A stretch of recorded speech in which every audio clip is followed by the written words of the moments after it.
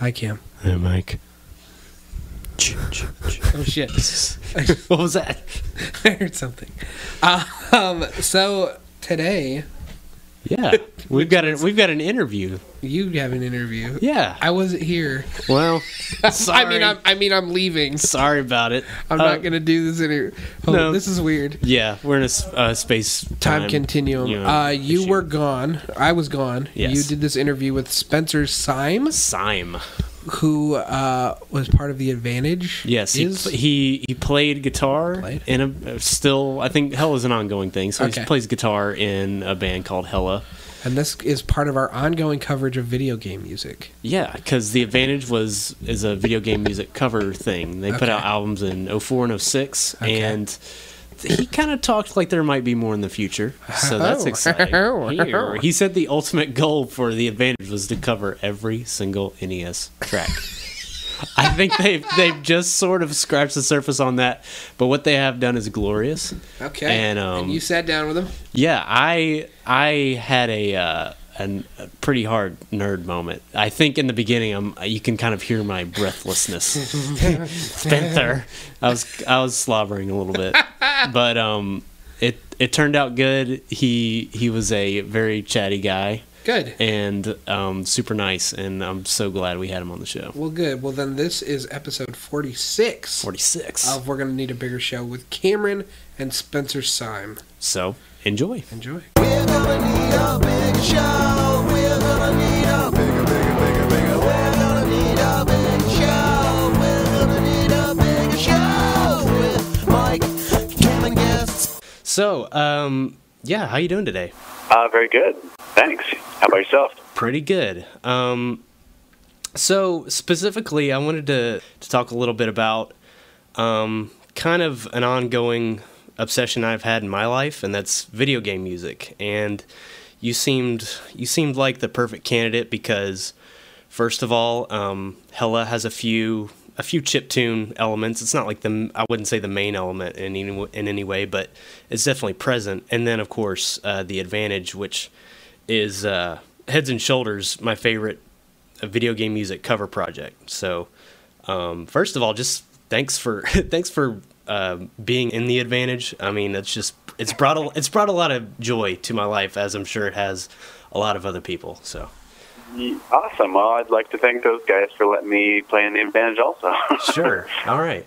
Well, um, I always find that the best place to start is the beginning. So what's what's your history with with gaming, and how does that tie into the the musical part of it?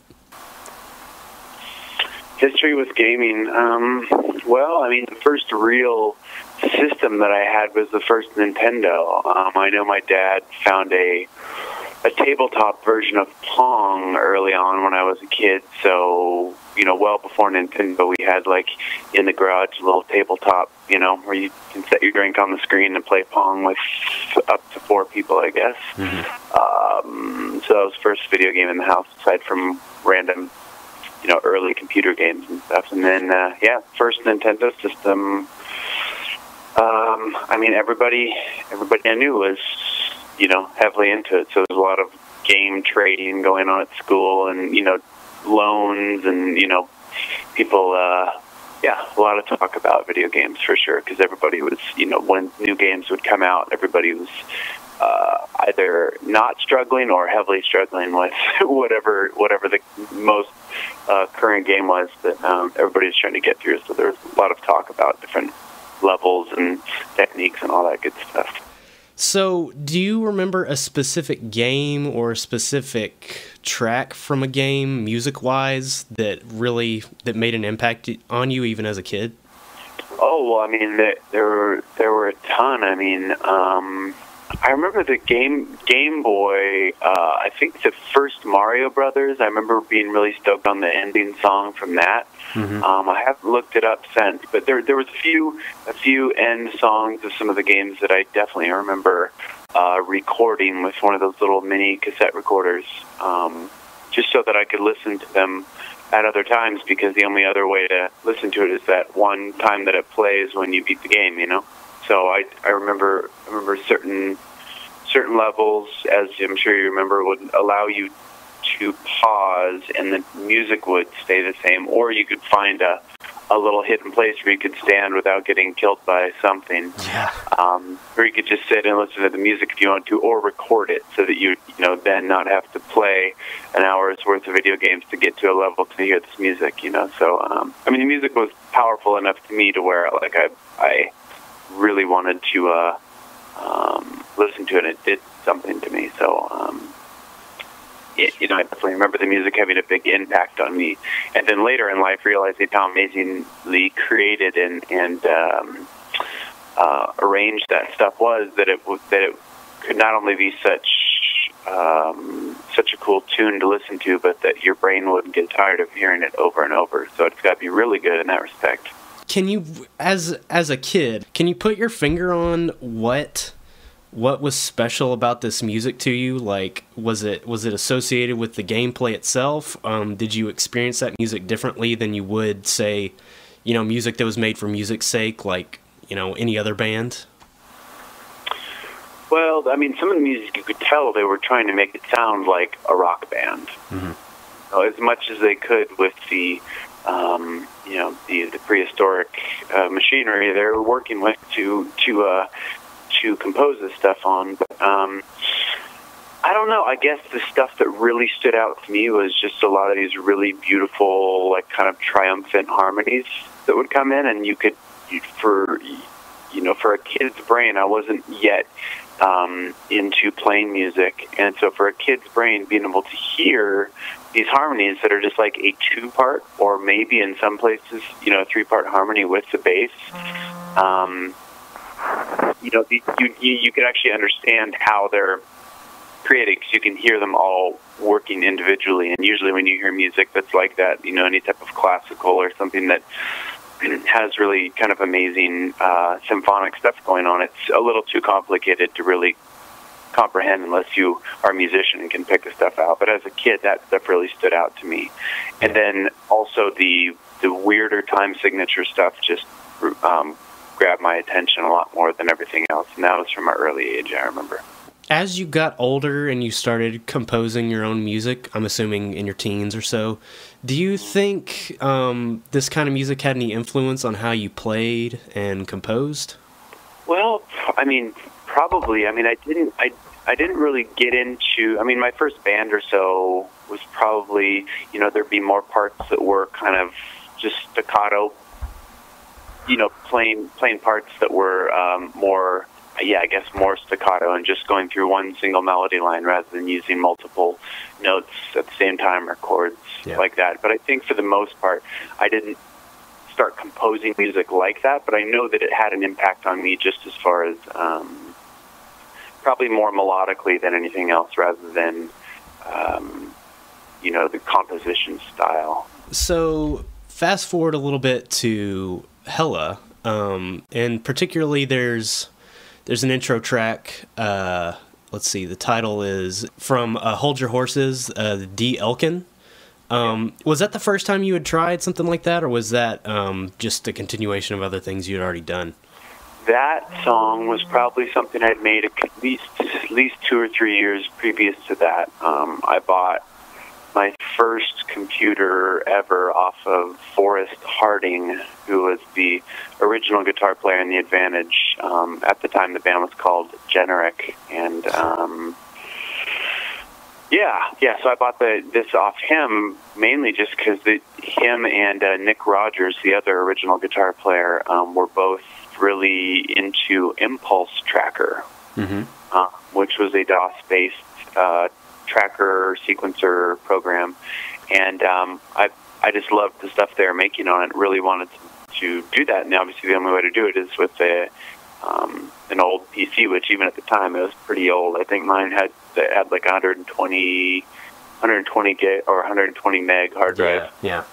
and um, but you know I I was able to learn that program from them and then just start you know doing stuff and that was still I was still in high school probably late junior early senior year and then started Hella a year or two after that. And so um, so yeah some of the tracks that make their way onto the Hella stuff I think just were tracks that I had either created a year or two before, or that I was creating for that um, record or that scenario, and um, you know, just kind of they, they worked kind of good as as uh, interludes, and um, you know, it's just another form of creating music that I could apply to a you know an album that we we're putting out.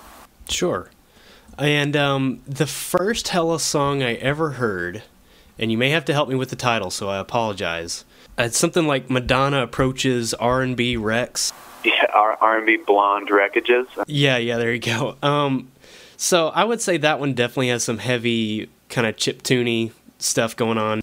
It it made a huge impact on me because it was I just never heard anything like it, and I'm I'm certain you've had other people tell you something similar to that. So I'm wondering when you first started integrating kind of 8 bit sounds, chip tuney kind of stuff, what was the initial reaction from fans, people who already knew the band, or maybe that was their introduction to the band?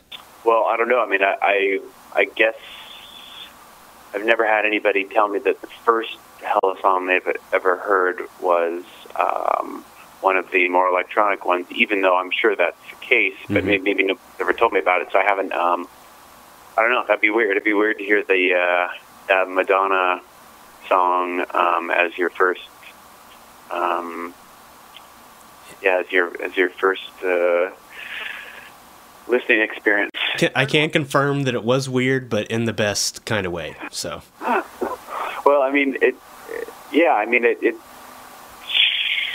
yeah, I don't really know what to say. I mean, I, I would assume people liked it. I mean, we we had a record that was all impulse tracker and drums only, um, and that record seemed to do pretty well, and people like that one. It's definitely in my you know top couple Hella records. I really like that record a lot. yeah. and so that was like an earlier, well, earlier version as far as uh, r- professional recording goes. Um, an early version of Impulse Tracker meets uh, Hella. Sure. um, but that that record was called Total Bugs Bunny on Wild Bikes. Yeah. So um, that was the first full album we did. But before that, like I said, it was just scattered tracks throughout different Hella stuff.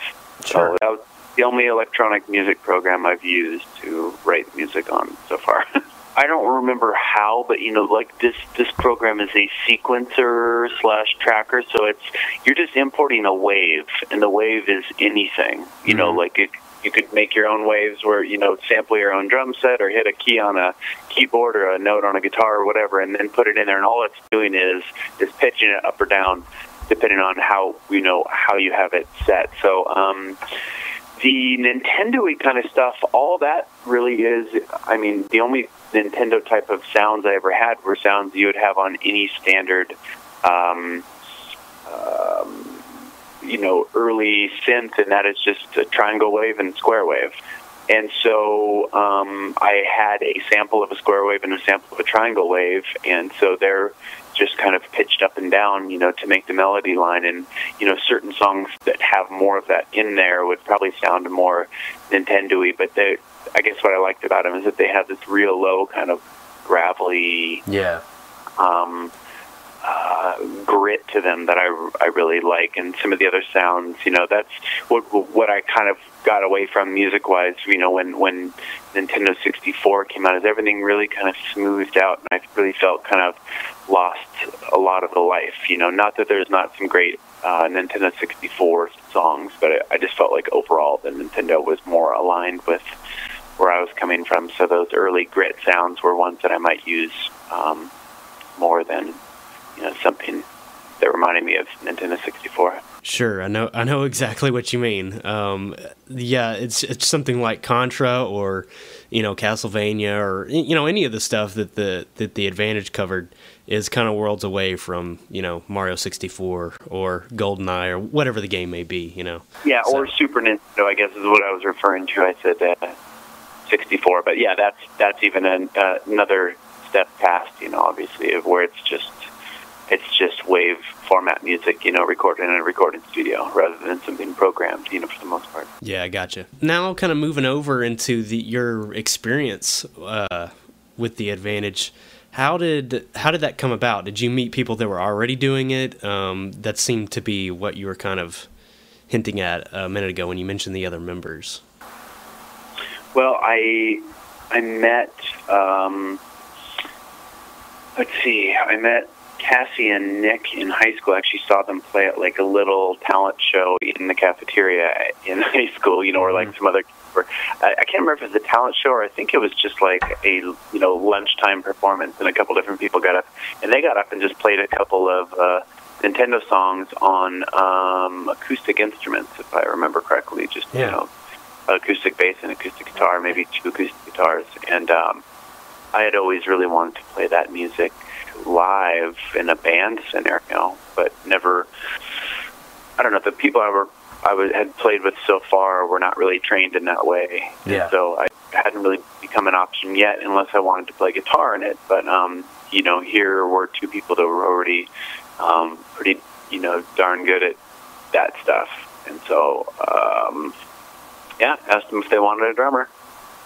And uh, I was just learning how to play drums at that time, but they, you know, seemed stoked on the idea, and so um, started doing that. And then shortly after, um, Forrest joined the band, and then we had, you know, four four members, and started to uh, make make recordings and and play a few shows locally around Nevada City area, and um, yeah.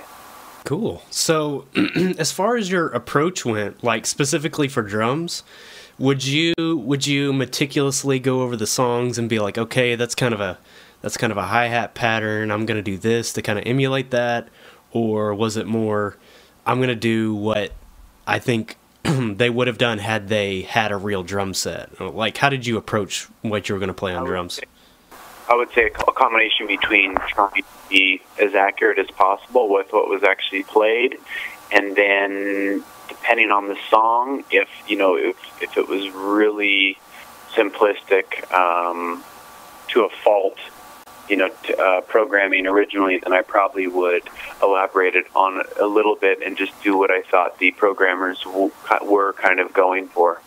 Um, you know, that kind of for the most part, that's what I would say would happen. And then there are other songs where I probably added just kind of did my own thing on them. Yeah. You know, something that, that sounded good, but there's you know there's some that I definitely tried to you know to recreate what, what where they would have liked it to uh, come from originally. Sure.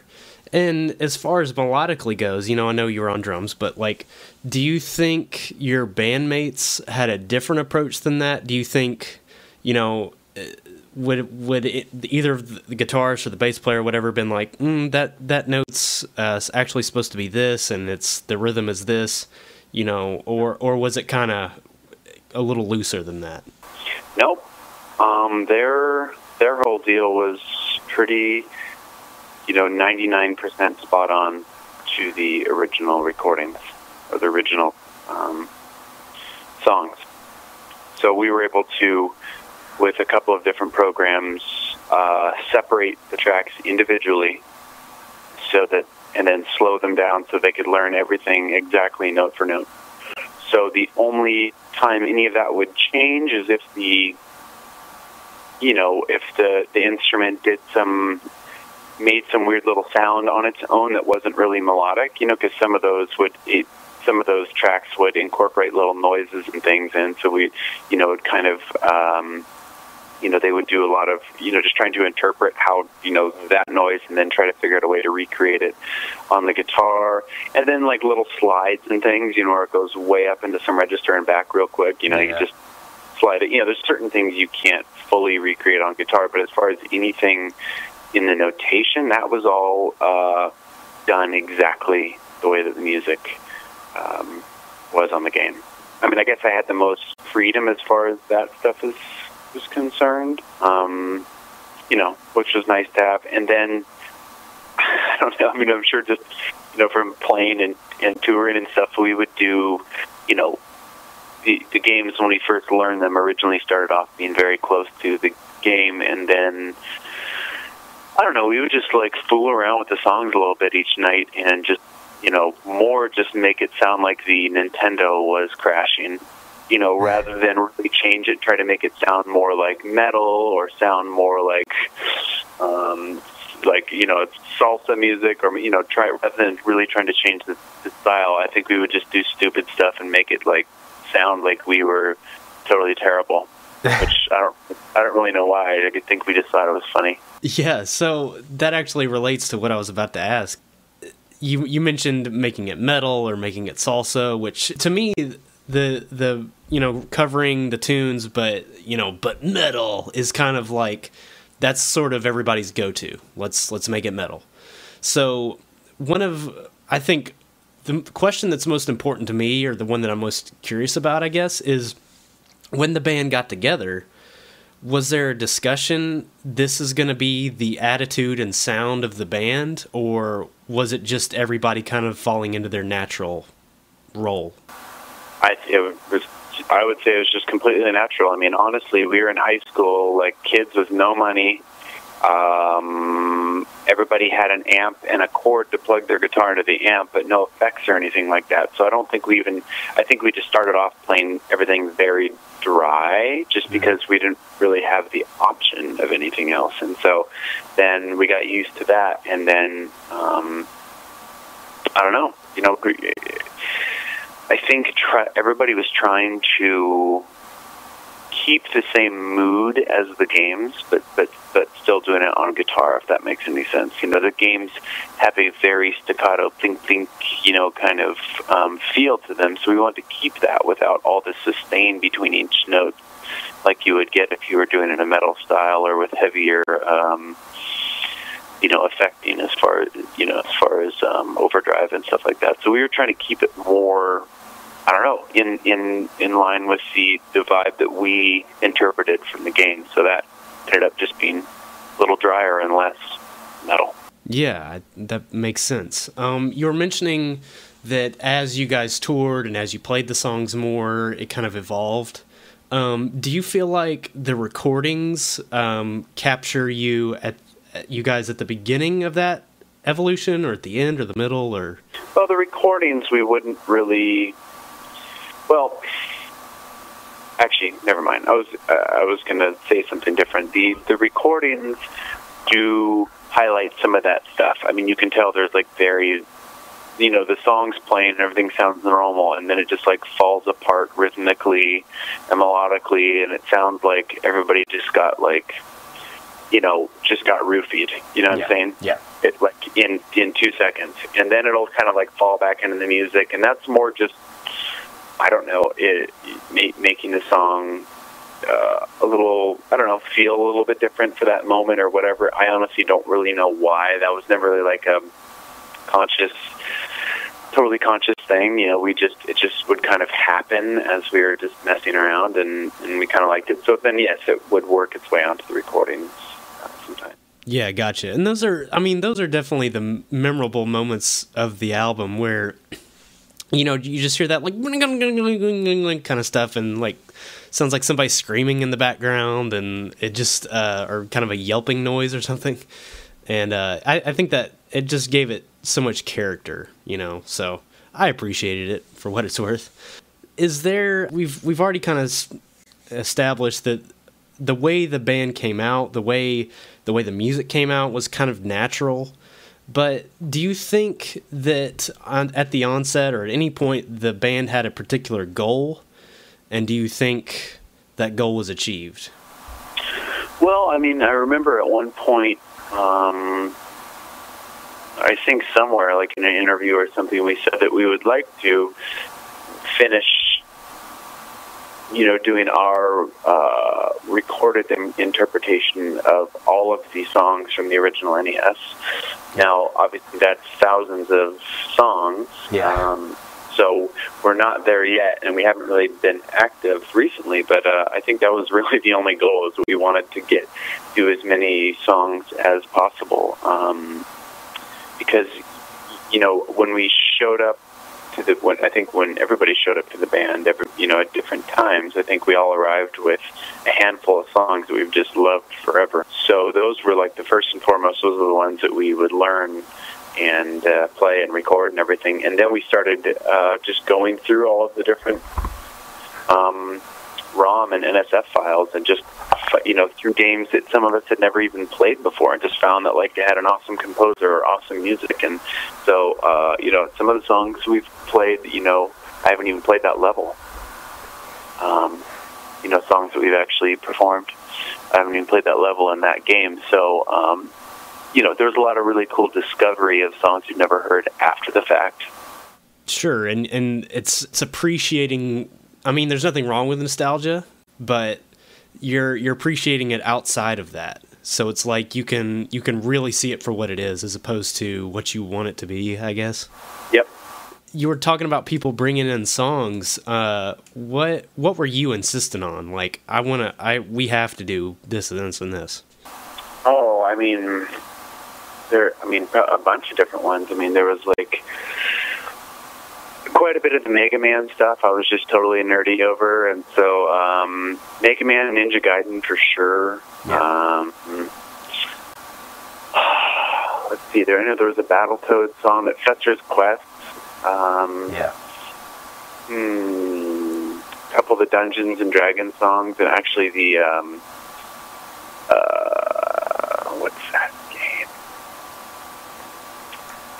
Wiz- yeah, Dungeons and Dragons, Wizards and Warriors too. I mean, I don't know. There was there was a lot. I mean, I think that everybody had some different stuff they're into, and it's cool because some some of the guys had you know it's kind of a totally different style, and they'd want to do you know like uh, Bomberman and and things that had more of like kind of an upbeat like cartoony kind of vibe. And I guess I was more into like the stuff that was a little bit more uh, either really eerie or rock oriented or something like but like a you know at at the time Japanese interpretation of uh, American rock music or Sure. something or and so it was it was uh yeah I think the, everybody having their own taste and what stuff they were into obviously contributed to a pretty varied uh, library of material once we were you know got a couple records under our belt It, uh, were there any that uh, were brought in that just did not work? Like, just couldn't make it happen? Um, yeah, I mean, definitely there were a couple, or you know, ones where most of the people were into it, but maybe one guy wasn't, or it would make his job insanely hard. Because I mean, honestly, I had the easiest role of any, of anybody in that band. I mean, those guys had to learn so much. You know, it's just Yeah. a totally different type of brain activity, just going note for note at light speed. You know, through all this stuff, and you know, I'm I'm sitting back just like banging on some drums. You know, I don't know. I mean, I definitely think I had the easiest role there, and um, but there were definitely a few that didn't really work out, or if they did, if they kind of partially worked out, we put them on a tour CD or on you know a little EP or something, just because you know it wouldn't make the cut for the record, but we at least wanted to get it out there, and you know we tried. Sure. So that being said, about you know your job as a drummer, could you ever, could you ever see yourself playing guitar in something like this, or is that just totally not, eh, you know? I mean, obviously you're an experienced guitar player and a great guitar player, but maybe this is not the kind of stuff you would ever see yourself doing. Yeah, I don't. I don't really see it. Um, just for my my approach, I guess, to guitar. I mean, I don't really think of guitar in the way that I think that those guys think of their instrument. You know, because most of these songs were done in standard tuning, except for maybe a couple where they would tune a string down because it made certain certain sweeps or arpeggios easier. You know, not having to jump up to this string each time or whatever. But for the most part, everything's done in standard. So, I mean, most of the, most of the guitar players I know or have met so far in my life, you know, do most things kind of in a standard tuning. So I would say they have a much better feel for their instrument as a whole than I do. Um, I have a better feel, you know, for myself, um, a better feel for for dynamics and technique rather than for the notation on the instrument because I really, I don't know, I just got used to writing every song you know, that I would write in a completely different tuning. So I don't really have a very good basis for that kind of stuff. So I think it would, it's just not really the way my brain works to sit down and learn a, uh, a musical piece. And that's not to say that I won't change or I won't get into that later on, but I, I'm not trained musically. So something like that seems kind of a little bit daunting. Um, Yeah, I mean, I can totally understand that. I mean, I, I hadn't thought about it, but you saying you're in different tunings all the time, well, those notes move all the time. There's no way. Yeah, or you just, you just get used to it. So you know, I mean, I know I could get used to playing everything that those guys are playing. It's just a totally different type of uh, mindset, and it's also, um, you know, I, I mean, I've already been in the advantage and done what we did over the few year period. So I guess it's not on my my top list of things to do to you know then start playing music as the guitarist. Um, Sure. but I did throughout, you know, some of our EPs and stuff. We would, we had a couple EPs where we would um, all do our own personal interpretations of the song Mhm. and, and record them ourselves, and then put them all out on a, you know, a six or seven song EP together. Yeah. Um, and so some of those I did, you know, they were kind of fast, you know, crazy stuff, and so those I did learn and play all the instruments um, for those. But you know, I guess just imagining having to, you know, perform 30 of them at any given show or whatever, um, yeah, be a lot of work. So Yeah, I guess definitely. I'm on to different things now, so I may not may not uh, find myself doing that, but who knows? Gotcha. This is kind of a two part. Um, was there a song that you guys did that a you feel like is the like the crowning achievement of the advantage, like a particular track, and is there one that you would cons- you would put in a similar light, just drum wise, like one that you really feel like you nailed it and it, it turned out well? Hmm. No, not specifically. Um, I mean, I think I had something. I was doing. Um, had had my phone on um, random or shuffle the other day, and Sparkman came on Mm-hmm. uh, from Mega Man, and I was I just remember thinking, man, that song rips, and I think we did a really good job at um, at covering that one. So that's definitely one that sticks out to me. Um, Ninja Gaiden, I really like the our interpretation of that. Yeah. Um, I don't know. I mean, I I'm I'm just glad we were able to get a lot of these, you know, down and recorded. And I think that you know, some turned out better than others or whatever, but they all kind of have our, you know, our unique um, interpretation of them on it. And you know, kind of it's like the way that we hear it, but in the real world, not stuck in the uh, system there. You know, so I'm I'm I'm stoked that a lot of those were able to work their way out into a different um, realm. Sure. Um, just from a fan's point of view, um, I would say that the ones that I enjoy the most are uh, DuckTales. Um, I would assume I'm not the only one there. That's it's that one's considered. I mean, just doing a little bit of research on the internet or whatever, that one seems to be the one that's there's a consensus that that is a it's it's a great track, you know, in its original format. But I remember that being like one of the first ones I heard from the Advantage, and I just I played it over and over and over and over, and it just made me feel like it just made me feel good. I don't know how else to put it. It's a very feel good song. Yeah, definitely. And then the other one being, um, I would. There's like there's two different versions of the Contra boss music, uh, at least on the records that I have. And um, the the one on Elf titled, I don't know if it's redone or just sped up a little bit, but um, that's one of those ones that I, I just when it gets to that kind of climactic uh, harmonized part towards the end, it just I get chills every time. It's amazing. Totally. Me too. And that, that that's actually one of the first ones before I even met any of those guys. We actually started fooling with learning it in um, the first band that I was in. Um, never really got all the way through it, but that was like my top top, you know, as far as here's one to start with, even though it's obviously not the easiest one to start with. It's the one that I wanted to start with, Contra boss music. I mean, I've got one more question here, and it's one of those ones that's, uh, you know, it's hard to answer. But um, the video game music and specifically stuff from the uh, NES era, um, do you think it has value outside of, you know, just the out of, outside of nostalgia? And what what do you think the value is? Um, well, yeah, I mean, I definitely I think it has a huge value out of um, nostalgia, um, and it's. I mean, I would say in because it inspires people to do other things that maybe are similar in mood. I mean, I've definitely done a lot of things that I felt kind of aligned with, you know, how music, how video game music made me feel. So I was able to create other music that made me feel like that too, but you know, of my own creation. So I think just maybe inspiring people to do um, other things, and then. Um, from a production standpoint, obviously we've seen a lot, especially in the last like two years in popular music. Um, I mean, there's all these huge video game references coming in, and all the melody lines are like these, you know, square and triangle waves. Yeah.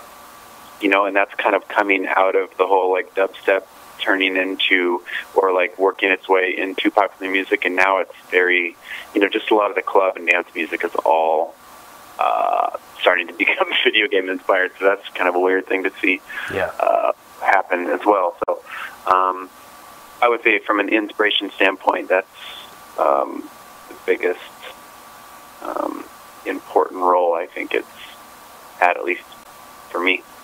You had mentioned that you know there were no immediate plans for anything advantage wise, but does that mean that there there may be something in the future? Um, sure. I mean, I, I don't see any reason why something couldn't happen again. I mean, it's you know we the advantage was always a side thing that we all did on top of our our um, I don't want to say real, but I guess more um, you know our projects that had uh, more musical outlet and were more kind of our bread and butter as far as our own creation. So those were always those always took first priority, and the advantage was something that we did and toured um, in between uh, tours with other bands. And but it actually worked out good. We were able to do a good, you know, a couple U.S. tours a year, and you know, Japan and Korea sometimes, and you know, things like that, which was um, great. So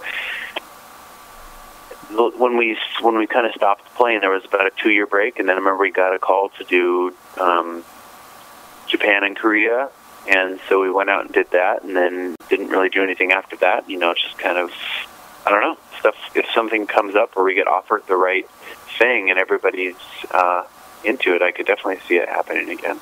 Okay. Did you feel like the reception in Japan and Korea was different in any way than it was here? Well, you know, not a whole lot actually. That was that was the kind of um, refreshing thing about touring the states with the advantage is that people would kind of like lose their mind over it. I think the nostalgia would take over, and they would they would forget that they're in some like hip like club environment where they're usually supposed to just stand there and kind of nod their head and look cool. They would like become total nutballs and like run around and just get like crazy into it. And that, that was the that was always a, a nice um, refreshing thing compared to some of the other bands I've played. And even if even though we were, you know, uh, had a, you know people there to see us, you know, it's just a totally different vibe. And Japan was always, you know, the crowd is very receptive to the music. They're music lovers. They're really amazing um, people to have watching you perform. So it was kind of the same um, between the U.S. and Japan, actually, which it, I couldn't say that for the other bands. The U.S. was, a little lackluster compared to Japan for the other projects, but the advantage worked well in both, you know, in front of both crowds. That's interesting. They're both instrumental music, but I I mean, in, at least in terms of Hella, which was mostly instrumental. But um, yeah, I mean, was that the? Uh, this is sort of a side question that I may edit out, but um, was that the whole point of Concentration Face? Was to kind of show that? Um, I don't know. I think it was just to to to highlight um, Japan and how amazing of a place it is, and um, you know, especially in the music realm, and how the people there are not are not um, held up with all these you know stupid social rules and um, you know at least as far as music goes. I don't know. They the, the Japanese are, have always really in, inspired me. You go over there and you play, you know, with two or three different bands every night, and they all totally rip. And in the states, you might do a whole six week tour and maybe have one or two bands. You're like, wow, those guys were really good. Um, and that I hope I don't sound jaded by that. It's just like you know, you obviously we have specific, we all have specific tastes in music, and you could go through a lot of bands before you find one you're like, wow, that really, um, you know, that really sounds good to me. And over there, it's like they're just like really practice, and I I guess at the at the base of it, just have a ton of soul. Where I, we don't see that as much over here, it's kind of few and far between. So I think that that movie is just kind of hopefully showcasing that a bit, and uh, you know, showing the everything everything about what it's like to tour over there. So rewinding just a little bit, uh, you said that you know people were, you know, in America as well, were much more likely to kind of forget themselves and go crazy during an Advantage show. Was there any particular song that really brought that out that you remember? Um, probably DuckTales for sure. Um, Goonies 2 is also kind of a similar feeling song. You know, it was kind of very triumphant, uplifting, you know, upbeat. Sure. Um, those were two that really stand out to me where people go pretty nuts. Yeah, when you mentioned that you had to get this program in order to, or the guitarist and the bass player, I guess, had to get the program to separate the tracks and kind of figure out who was playing what. The Goonies was the first thing that came to mind because it's like, it, that's one that I've also just played on loop and just tried to be like, okay, this time I'm going to concentrate on just that one guitar, and I can't. Like it, it eventually just kind of, they kind of like meld into each other, and you can't tell what's what anymore, and that's part of the beauty of it.